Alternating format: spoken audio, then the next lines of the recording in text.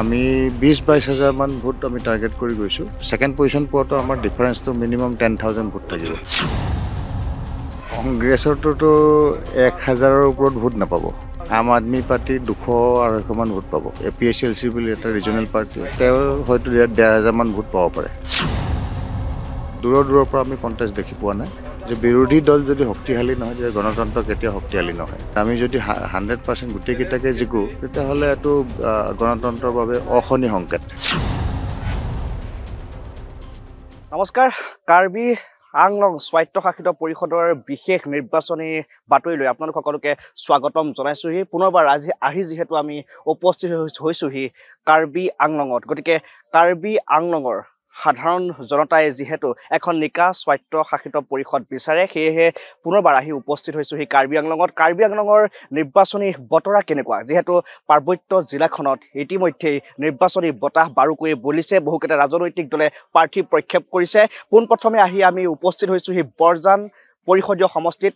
Twenty one Borjan গতিকে একৈছ number এই বৰজান পৰিষদীয় সমষ্টিত নিৰ্বাচনী বতাহ কেনেকুৱা কিছু দৃশ্যাংশ ভিডিঅ' জাৰ্নেলিষ্ট ময়ূৰে আপোনালোকক দেখুৱাবলৈ চেষ্টা কৰিব আৰু এয়া হৈছে কাৰ্বি আংলঙৰ বৰজান আৰু ইয়াত এতিয়া দেখিবলৈ পোৱা গৈছে নিৰ্বাচনী প্ৰচাৰ তুংগত কৰি তুলিছে বিজেপিয়ে আৰু বিজেপিৰ নিৰ্বাচনী প্ৰচাৰ তুংগত হৈ পৰা সময়খিনিতে আমি এইসমূহ দৃশ্যাংশ দেখুৱাবলৈ চেষ্টা কৰিছোঁ। ভিন্ন প্ৰান্তত বৰজান পৰিষদীয় সমষ্টিত তেওঁলোকে নিৰ্বাচনী প্ৰচাৰ অব্যাহত ৰাখিছে। অন্য হাতেদি অসম বিধানসভা উপাধ্যক্ষ নোমল মমিন ডাঙৰীয়াও ইয়াত দেখিবলৈ পোৱা গৈছে। ডক্টৰ নোমল মমিন ডাঙৰীয়া পোনপ্ৰথমে অসম লাইফ টুৱেণ্টি ফ'ৰলৈ স্বাগতম জনাইছোঁ।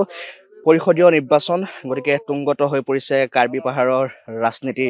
গতিকে কাৰ্বি স্বায়ত্তশাসিত পৰিষদ পুনৰবাৰ বিজেপিয়ে দখল কৰিব বুলি আপোনালোকে বহুবাৰ মত প্ৰকাশ কৰিছে। এই যি নিৰ্বাচনী বতৰা বা বিভিন্ন ইখনৰ পিছত সিখন আপুনি নিৰ্বাচনী প্ৰচাৰ অনুষ্ঠানত আহি অংশগ্ৰহণ কৰিছে। কেনেকুৱা ধৰণৰ পৰিৱেশ দেখিছে আপুনি? আমি একদম মাইক্ৰ' লেভেলত মিটিং কৰি আছোঁ। এতিয়া এটা প্ৰত্যেকটা বুথত আমি গৈছোঁ। এইটো এটা আমাৰ চালাকাঠাৰ বুলি কয় এইটো বুথ তাত আহিছোঁ। আৰু ৰাইজৰ যিটো সঁহাৰি আমাৰ যোৱা পাঁচটা বছৰৰ কাম তাৰ ওপৰত বেছ কৰি পেলাই ৰাইজে ভোট দিবলৈ ওলাই আহিব। আৰু আমাৰ দৃঢ় বিশ্বাস আজি আপুনি দেখিছে চালাকাঠাৰ পৰা অলপ আগত গ'লে আই চি ডি এছৰ প্ৰজেক্ট চলিছে আৰু অলপ আগত গ'লে মানে দেখিব হাতুকা ফালৰ পৰা আমি ৰাস্তা বনাই বনাই আহি আছোঁ নেশ্যনেল ফ'ৰ ফ'ৰ লেন যিটো হৈছে ফ'ৰ লেনৰ পৰা। আৰু এইটো বছৰতে এইটো ৰাস্তাটো আমি সম্পূৰ্ণ কৰিম। তো গতিকে ৰাইজে যিবিলাক উন্নয়নৰ কথা দেখিছে চকুৰে আৰু পাইছে তাৰ ওপৰত বেছ কৰি ভাৰতীয় জনতা পাৰ্টীৰ আমি কাৰ্বি আংলঙত গোটেইকেইটা চিটে জিকিম। আমাৰ আজি আমি বৰজান পৰিষদীয় সমষ্টিত আছোঁ গোটেই দিনটো আজি ইয়াত অতি- অতিবাহিত কৰিম। যোৱাকালি মই আহ, দুৱাৰবাগৰিত আছিলোঁ তাতো খুব ভাল পৰিৱেশ। তাৰ আগদিনাখন মই সৰু পথাৰত গৈছিলোঁ তাতো ভাল পৰিৱেশ। অহা কাইলৈ মই দেওপানীলৈ যাম। তাতো ভাল পৰিৱেশ। নীলিপথ মই গৈ আহিলোঁ। খুব সুন্দৰ পৰিৱেশ। কেও দিশে বিজেপিৰ পক্ষত ৰাইজ আৰু গতিকে এইবাৰ আমি চেন পাৰ্চেণ্ট আমাৰ জয় আমি সাব্যস্ত কৰিব পাৰিম। বিজেপি দলে কিন্তু বহুকেইজন বাঘা বাঘা নেতাক এতিয়া প্ৰক্ষেপ কৰিছে কাৰ্বি স্বায়ত্ত পৰিষদৰ এই নিৰ্বাচনলৈ। যিহেতু ৰণনীতি বিজেপি দলটোৱে প্ৰস্তুত কৰি পেলাইছে ইতিমধ্যে। ইজনৰ পিছত সিজন ইনচাৰ্জ তেওঁলোকে প্ৰয়োগ প্ৰয়োগ কৰিছে। অন্য হাতেদি যদি আমি চাবলৈ যাওঁ সূৰ্য ৰংফাৰ তেখেত পূৰ্বে হয়তো পৰি- পৰিষদ আছিলে বোধহয়। হয় তেখেতে দুহেজাৰ সোতৰলৈকে ই এম আছিলে। দুহেজাৰ সোতৰত টিকেট নাপা নাপালে। এইবাৰ আকৌ টিকেট দিয়া হৈছে। আৰু তেওঁ এটা শক্তিশালী প্ৰাৰ্থী বৰজানৰ পৰা। আৰু জনগাঁথনিটো যদি চাই চোৱা যায় বৰজানৰ গতিকে বিজেপিৰ পক্ষত আমাৰ ৰাইজ আছে। আৰু এই চিটটো খুব অনায়াসে আমি জয়লাভ কৰিম। এটা প্ৰশ্ন কৰোঁ বিভিন্ন বিতৰ্কও আছে বিৰোধী শিবিৰেও য- যথেষ্টখিনি বিতৰ্ক কৰিছে ইয়াক লৈ কি প্ৰতিক্ৰিয়া থাকিব ৰাইজলৈ বুলি কোন কোনটো কোনটো বিৰোধীয়ে হেৰি কৰিছে? কংগ্ৰেছে প্ৰাৰ্থী প্ৰক্ষেপ কৰিছে আম আদমী পাৰ্টীয়ে প্ৰাৰ্থী প্ৰক্ষেপ কৰিছে। কংগ্ৰেছৰটোতো এক হাজাৰৰ ওপৰত ভোট নাপাব। আম আদমি পাৰ্টি দুশ আঢ়ৈশমান ভোট পাব। আৰু A P S L C বুলি এটা ৰিজনেল পাৰ্টি তেওঁ হয়তো ডেৰ হাজাৰমান ভোট পাব পাৰে। তো তেনে ক্ষেত্ৰততো আজি ইয়াতে আমাৰ পঞ্চল্লিছ হাজাৰ ভোট আছে পঁয়ত্ৰিছ হাজাৰ পুল হ'ব। আমি বিছ বাইছ হাজাৰমান ভোট আমি টাৰ্গেট কৰি গৈছোঁ আৰু এটা হিউজ মাৰ্জিনত আমি ইয়াৰ পৰা জিকিম। ছেকেণ্ড পজিশ্যন পোৱাটো আমাৰ ডিফাৰেঞ্চটো মিনিমাম টেন থাউজেণ্ড ভোট থাকিব। তো গতিকে সেইটোত কোনো কণ্টেষ্ট নাই। দূৰৰ দূৰৰ পৰা আমি কণ্টেষ্ট দেখি পোৱা নাই।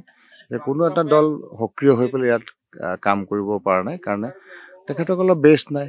এতিয়া আমাৰ পৰা বিজেপিৰ পৰা দুই এজন কোনোবা যায় নেকি বুলি তেখেতসকলে আশা কৰি আছে। আদাৰৱাইজ যিমান লিডাৰ আছিলে ভোটাৰ্ছ আছিলে চব মেক্সিমাম ভাৰতীয় জনতা পাৰ্টীত জইন কৰিছে।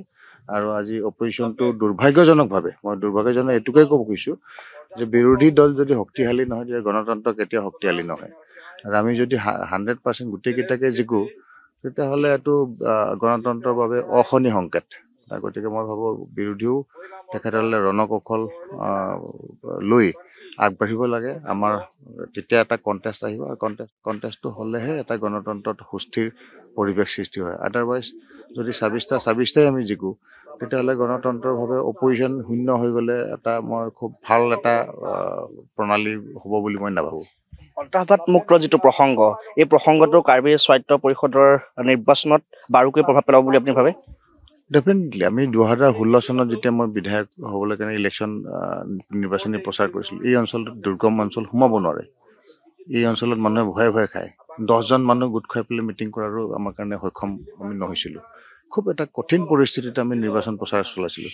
কিন্তু দুহেজাৰ ষোল্লৰ পৰা দুহেজাৰ বাইছলৈকে যিখিনি আমি কাম কৰিলোঁ যিখিনি উন্নয়ন কাৰ্বি আংলঙত হৈছে আগতে টেৰৰিষ্ট উৎপন্ন হৈছিলে কাৰ্বি আংলঙৰ পৰা।